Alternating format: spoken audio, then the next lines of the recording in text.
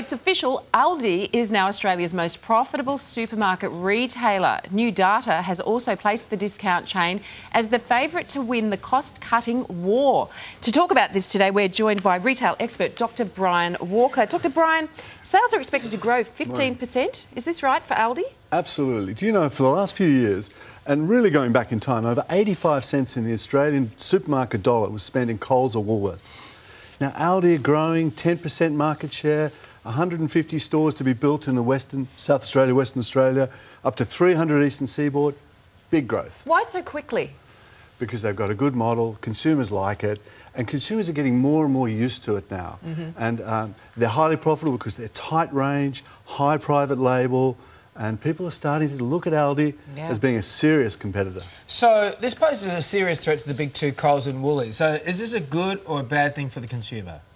It's all about choice. Retail is about choice, and it's about consumers making choices. And Aldi are putting an offer out there, Dave, that's saying, guys, we're good, we're strong, we're competitive, and consumers are moving there.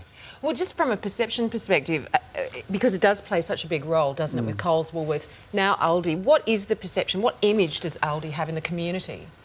I think Aldi has an image very much, initially it was very much about price savings. Now it's about What's going on at Aldi? We've got the weekly specials. They're, they're bringing in branded products like Weet-Bix and products like that.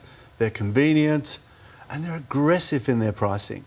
Um, interesting that they are the most profitable. And Coles and Woolworths, for many years, have been, by world standards, mm -hmm. the most profitable supermarkets in the world, or certainly up there. Now, Aldi are coming in and they're undercutting them.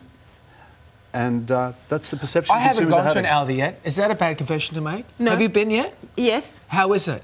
It's it's fine because I'm very much barnacled onto the main two. Not in a not in a negative way, but that's just what I'm used to, and they're sure. nearby and with and the that's and exactly stuff. the perception of so many Aussies out there.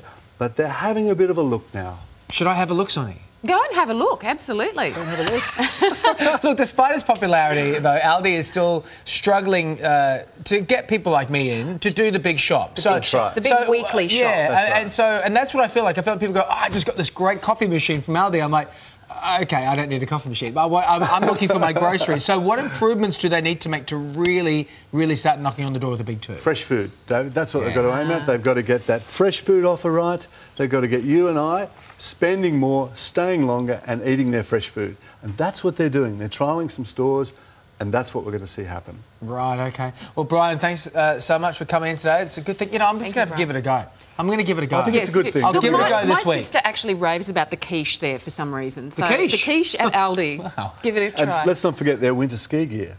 They've oh, got, see, that's okay. what gets Didn't me. That's what I don't understand. I want to go for a shop, not for some skis. They've got winter ski gear. That's a big I'm going to go have a look. I, I, you know what? I promise everybody, I'm going to go have a look this week, and I'll do my own Aldi report, and right. I'll let you know what I think because I'll be a new, uh, Thanks, I'll be a reporter, man Thanks, on Dave. the ground. Now, to ensure that you're getting the best deals at the checkout, visit allprices.com.au.